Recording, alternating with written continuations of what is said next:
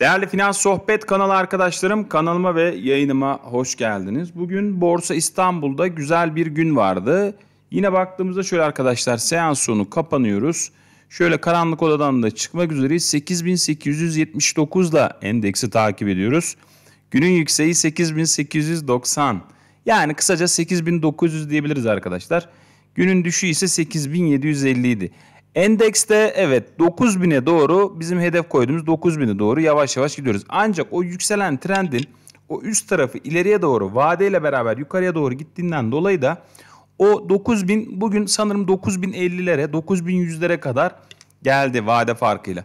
Ancak şöyle baktığımızda arkadaşlar 26 Aralık'tan itibaren endekste güzel bir rally olduğunu unutmayalım. Yani 26 Aralık'tan itibaren güzel bir rally. Şöyle grafiğe baktığımızda ki bugün şu köşede de yayınlayayım ben size grafiği. 26 Aralık'tan itibaren baktığımızda arkadaşlar Borsa İstanbul'a ne zaman hisse almak için önemli olduğunu anlıyoruz. Yani Borsa İstanbul'da önemli olan şey ne? Önemli olan zamanlama arkadaşlar. Eğer Borsa İstanbul'da zamanlamayı iyi yapabiliyorsak iyi paralar kazanabiliyoruz demektir. Ha bu bağlamda bugün ne kadar bir işlem hacmi vardı? 125 milyar TL. Bizim teknik analiz ne diyordu? 9050'ler bir direnç bölgesi deniyordu. Bazen arkadaşlarda bu şöyle sorular geliyor. Selçuk Bey 26 Aralık'tan beri devam eden rallide satış başladığı anda bize haber verir misiniz? Şimdi değerli arkadaşlar yani takdir edersiniz ki size buradan şu anda buradan satış başlıyor. Buradan itibaren düşüş başlayacak deme şansımız yok arkadaşlar. Borsa İstanbul'un nereye gideceğini, ne yapacağını hiç kimse bilemez. Yani ne yapıyoruz biz? Şimdi teknik analizi de bilemez, temel analizi de bilemez. Çünkü 100, bakın bugünkü işlem hacmi 125 milyar TL. 125 milyar TL'lik bir paranın yani yaklaşık 4 milyar dolarlık bir paranın gün içinde nereye savrulacağını ben biliyorum demek ahkam kesmekten başka bir şey değildir. Hadi diyor bazı arkadaşlar diyor ki Selçuk Bey işte Merkez Bankası Başkanı değişti borsa yükseldi. Arkadaşlar ben pazartesi günü borsa için herhangi bir şey söylemedim. Borsa iner veya çıkar. Çünkü Türkiye'de yüksek enflasyon var. Dün enflasyonu konuşmak istemedim. Bazı arkadaşlar diyor ki Selçuk Bey enflasyonu konuşmadınız. Yani çok yüksek geldi enflasyon. Yani neyini konu? %65'e geldi. Yani Şubat ayı da muhtemelen yüksek gelecek. E şimdi %65 enflasyonun olduğu bir yerde TL bazlı bir getiri sağlamak çok önemli değil. Benim demek istediğim şu. Merkez Bankası değişiklikleri nereden bakarsanız bakın yabancı beğeniyorum şöyle yapıyorum öyle yapıyorum dese de uzun vade orta ve uzun vadede borsamız için çok iyi bir görüntü değil. Yani bunu kimse söyleyemez. Ama Fatih Karahan'ın pazartesi günkü açıklamaları ve bankalardaki zorunlu karşılıklara faiz miktarını arttırması piyasa yapıcı olarak değerlendirildi. Bu da güzel. Ve Fatih Karahan Bey piyasa yap, piyasa açılmadan önce bunları söyledi medyaya. Bu da güzel bir iletişim örneği oldu. Ve bu borsanın yatayda pozitif olarak devam etmesine neden oldu. Bugün de baktığımızda arkadaşlar borsada yaklaşık %1.05'lik bir artış var. Yani hedefimiz olan 9 bin lira doğru devam ediyoruz. Öyle olunca arkadaşlar bazı arkadaşlar bildiğim bilemedim öyle bir şey yok. Ben zaten pazartesi günü için bir şey Ben sadece orta ve uzun vadede bu şekilde zırt pırt başkan veya bakan değiştirmeye özellikle para ve maliye politikasına devam edersek dolar bazlı rekorların gelme ihtimalinin zor olduğunu söyledim. Pozisyonu da söyledim. %60 hisse %40 nakitte bekliyorum. Ha nakitte bek arkadaşlar nakit bakın TL fonlar net %47 getiri sağlıyor. Bakın %47 net vergisiz. TL fonlar. Tefas fonları demiyorum. TL fonlar net getiri sağlıyor. Şimdi yüzde şimdi yüzde yüz borsada olunur mu? Şu grafikte yüzde yüz borsada olamam ben. Sizi bilemem. Yüzde yüz borsada olamam. Ama yüzde kırk TL'de kendimi hece ederim. Yüzde kırk yedi iyi bir getiri. İyi bir getiri. Ancak borsa buradan devam edebilir mi? Şu noktada satın bunu diyemeyiz. Biz neyi takip ederiz o zaman? Biz bunu teknik analizi takip ederiz. Şimdi teknik analizde Selçuk Bey sürekli 2 saatlik işte 21 günlük 2 saatlik hareketli ortalamayı takip edeceğiz. O hareketli ortalamayı takip edeceğiz. Veya e, süper trend 2 saatlik süper trend takip edeceğiz. Şimdi arkadaşlar bu iş teknik analizde şöyledir. Yani gayetten kimse haber alamıyor. 2 saatlik çok daha böyle mantıklı borsanın düşeceği ve yükseleceğini söyleyen bir indikatör bizler için. Şimdi biz bu eğer borsadaki düşme makroekonomik havadisleri de destekliyorsa işte burada negatif oluyoruz biz. Eğer teknik analizde yukarıya doğru bir hareket olduğunda, havadislerde pozitif olduğunda biz ne diyoruz? Biz diyoruz ki arkadaşlar trendi takip etmemiz gerekiyor. Ben şu an ne yapıyorum? Ben şu an pozisyon açmıyorum. Trendi takip ediyorum. Teknik analize bakıyorum, havadislere bakıyorum. Bozulduğu anda belki tepeden bir yüzde on hisse satabilirim. Bozulduğu an. Ancak bu herkesin risk algına göre değişebilir. Birisi geçen sene almıştır, yeni maliyetine gelmiştir.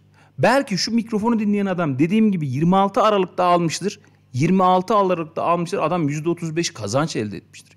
Düşünüyor musunuz? Yani 26 Aralık ocağın sonu şimdi Şubat'ın başındayız. Bir ayda bir ayda adam %35 kazanç sağladığını düşünün. Yani 1 milyon lira yatırmış bir ayda 350 bin TL almış. Ne kadar güzel değil mi? Bir ayda. E Allah bereket versin diyebilir. Ama onun risk algısıyla geçen sene almış yeni maliyetine gelmiş adamın risk algısı aynı olmayabilir. Veya o vadeniz orta ve uzun vadeli ise e burada arkadaş burada daha da yukarıya gidebilir. Ama sizin risk algınız kısaysa e bir aylık kazanç %35 belki de Şubat 15 kredi kartını ödeyeceksiniz. Arkadaş Allah bereket versin dersin. Buradan satış yaparsın gidersin Şubat 15'te kredi kartını ödersin. Ama bir, bazıları temettü yatırımcısıdır. Arkadaş endeks 8900 olmuş, 9000 olmuş, 8500 olmuş çok önemli değildir. O yüzden arkadaşlar burada herkesin risk algısına göre ortaya bir ürün çıkarıp söylemek yanlış olur. Yanlış olur. Fakat ben ne yapıyorum? Ben arkadaşlar ucuz hisse arıyorum. Uçan kaçan hisse değil. Ucuz hisse. Ucuz hisse alıp orada mala çöküyorum. Malı da yükseldiği zaman ufak ufak tahtayı yemleyerek tahtacının tahtayı yükseltmesini sağlıyorum. Ne yapıyorum? En yukarıda da belli bir miktar parayı tahtacıya, hisseyi, malı tahtacıya kitliyoruz. Ama düzelteyim, kit, kitliyorum yani kitliyoruz demeyeyim bunu, kitliyorum.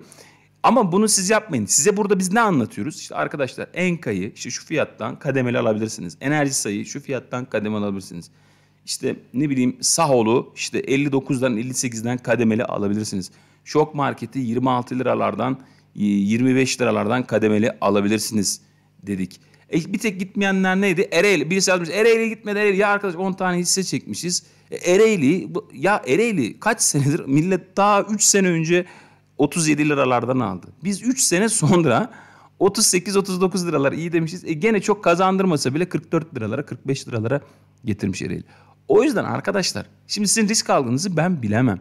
Şunu da bir şunu da şuradan alın buradan satın asla öyle bir şey değil mi? Sadece şu an yapılması gereken yeni pozisyon açıyor musunuz? Ben açmıyorum. İzliyorum. Yeni neyi takip ediyorum? Trendi. Peki neden 2 saat takip ediyorsunuz?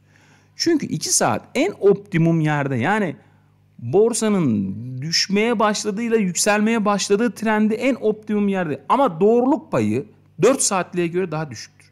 4 saatliğin doğruluk payı 2 saatliğe göre daha iyidir. Ama 4 saatlikteki kayıp 2 saatliğe göre çünkü sinyal geç gelir daha fazladır. Günlük e günlük en doğrusunu verir.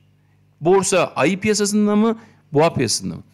Ama günlük en doğruyu verir ama günlük size piyasanın ayı veya boğa olduğunu söyleyene kadar zaten %10 kaybetmişsinizdir ya da %10 kazanmışsınızdır. Daha sağlamdır ancak sizin kafa göz kırma miktarınızı arttırır. Haftalık daha da sert bir durumdur. O yüzden şöyle ince eleyip sık dokuduğunuz zaman en optimum trendi takip edebilmek için 2 saatliktir.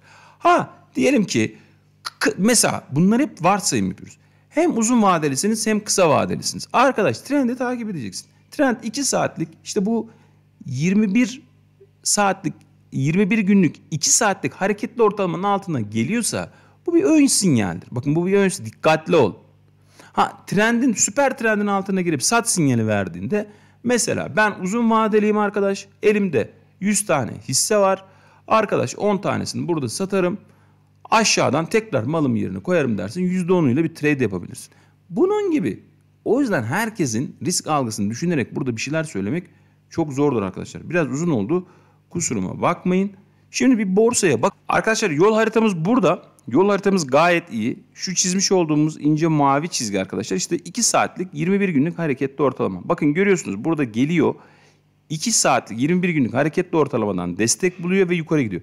Yani şurası piyasanın bir boğa piyasası içerisinde olduğunu bize gösteriyor. Tekrar yükseliyor, tekrar geliyor. Bakın gene buradan geliyor yukarıya doğru gidiyor. Gene buradan yukarıya doğru gidiyor. Biz zaten yol haritamız şu yatay destekler içerisindeyken bakın yatay desteklerin arasında yatay da gidip geliyor. Zaten şu 8562 önemli demiştik. 8562'yi kırması gerekiyor dedim. Ben çoğu defa hatırlıyorum. 8562 zaten şurada güçlü barla kırınca yukarıya doğru ise o zaman hedefler şöyle 8900'ler 9000'ler demiştik. Ancak ilerleyen vadeyle üstteki trend yukarıya doğru gittiğinden dolayı böyle 9050'lere doğru bir hedef belirledik. Peki aşağıya doğru geri çekilişi ilk ön sinyal nedir işte bu 21 günlük 2 saatlik hareketli ortalama 8742'lerden geçiyor. Trend de buradan baktığımızda 8695'lerden geçiyor. Ancak şimdi şöyle baktığımızda yani şurada takip etmemiz gereken bu trend arkadaşlar. Yani şu trendi şu aşağıya doğru en az 2 ya da 3 bar kestiği anda bu sefer aşağıda yatay destekleri görebiliriz. İşte burada eğer 2 ya da 3 bar yandıktan sonra sistem burada sata dönmüş deriz ve burada belli bir miktar eğer satma niyetiniz varsa belli bir miktar satılabilir. Ancak bu noktada şu an herhangi bir sat sinyali yok. Hedefin 9050'ler olduğunu görüyoruz. Bu kanalda yer alan yorum, bilgi ve düşünceler sohbet niteliğinde olup tavsiye niteliğinde değildir. Bol kazançlar dilerim. İyi akşamlar. Miraç kandilimiz hepimize hayırlı, uğurlu ve mübarek olsun. Kendinize iyi bakın. İyi akşamlar.